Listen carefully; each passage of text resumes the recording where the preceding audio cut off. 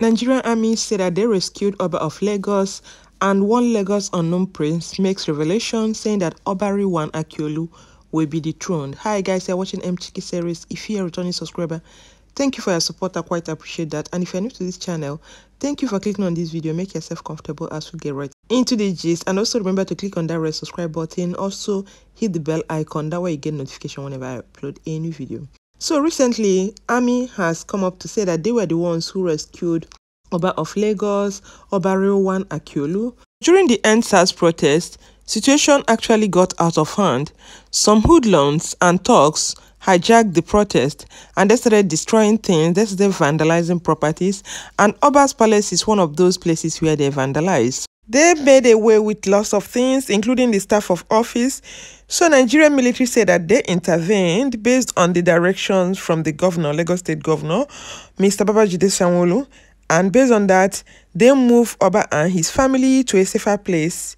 And Army went further to say that it is very good that Governor of Lagos State asked them to intervene in the situation. This thing is just uh, funny and very annoying at the same time. Are we still in the military era that any slightest thing, they mobilize military, they send them to the street? I don't get it. It's feel very strange to me, and these people don't get it. The way they talk with impunity makes me understand that they feel that they are supposed to do the job. Why not police? Where are the policemen? What is happening in Nigeria? Why must army be released? We're not in military regime. This is not war situation. Oba of Lagos is simply the traditional ruler of Lagos, and since after the incident that occurred during the EndSARS protest, there have been lots of opinions about Oba of Lagos, why some people believe that Oba of Lagos is supporting politicians, other ones believe that Oba of Lagos is for the masses. However, Oba of Lagos is always selected by kingmakers of Lagos Traditional Kingdom and confirmed by Lagos State Government. This particular Oba of Lagos is the 21st Oba, and he was crowned on 9th August 2003. For those of you who don't know, Oba of Lagos studied law at University of Lagos and after that he served Nigerian Police Force for 32 years. He entered Nigerian Police Force in 1970 and he served in various capacity. He was promoted to Assistant Inspector General of Police in 1999. He was very active until his retirement in 2002. Then in 2003 he became the Oba of Lagos and some people believe that he is not representing the masses very well and some of these opinions were formed from the videos that made rounds all over social media during the EndSARS protests. Some of the thugs and hoodlums who broke into the palace discovered large warehouse in which Government distributed COVID-19 palliatives meant for the people of the community were hidden and among the items recovered included thousands of bags of rice, cartons of noodles, food condiments and essential household items. And some people were asking why did they not distribute these COVID-19 palliatives to people? Why people were suffering? Some people were complaining a lot about hunger individuals were doing all they could to help their community by donating and feeding the community. People were wondering what this quantity of food was doing in his palace when people were hungry. But anyway, he didn't stop there. If you can remember in April 2015, he had a meeting with Igbo leaders in Lagos and he publicly swore that any Igbo representative that went against his will, that Ambode will be the next governor of Lagos because then it was Ambode that was running to be the next governor of Lagos, that the person will be thrown into the Lagos Lagoon.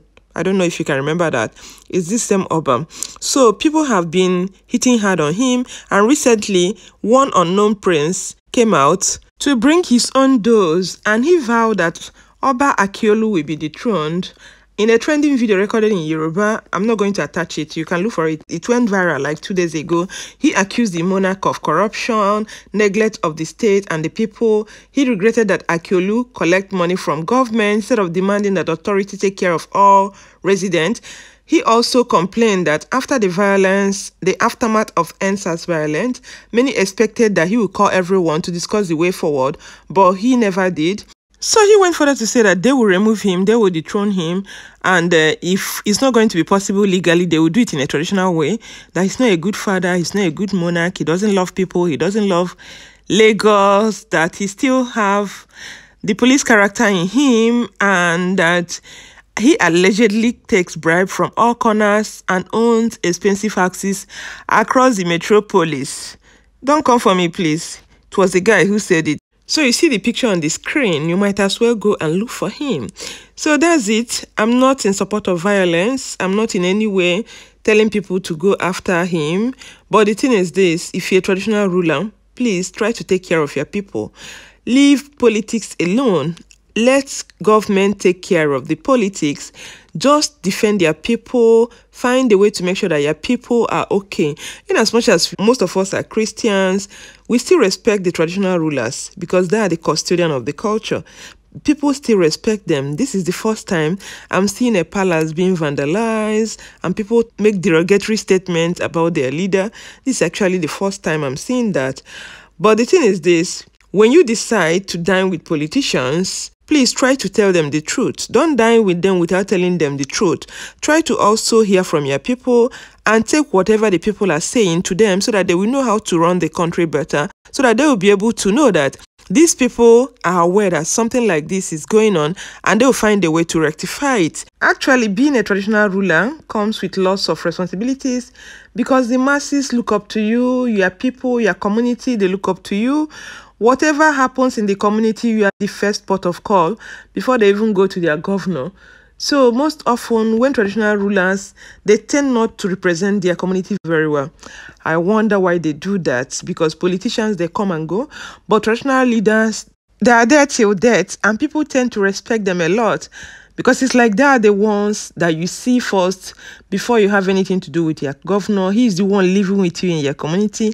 He's the one that understands the terrain of the community very well. Even the politics of the community, they're the ones that understand it. So I don't tend to understand that when traditional leaders tend to work with politicians, it makes me cringe, honestly, just like some of these religious leaders that work hand in hand with politicians.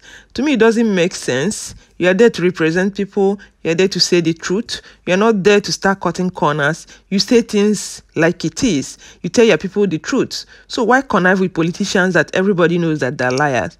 Once you start dining and wining with politicians, of course, people will class you to be a politician and people will class you not to be straightforward. So this uh, unknown prince continued to say a lot of things. He also said that he refused to talk about the money found inside a coffin, that the money he has been collecting since the time he was in Kogi, that he was already planning for 2023 general election. Even if he lives long, then it will not work. That he acknowledged collecting money from Governor Sanwo-Olu three times in a year, that will amount to 12 times in four years, and that is not small money. So, if he is a good father, he should have said Jide, don't worry.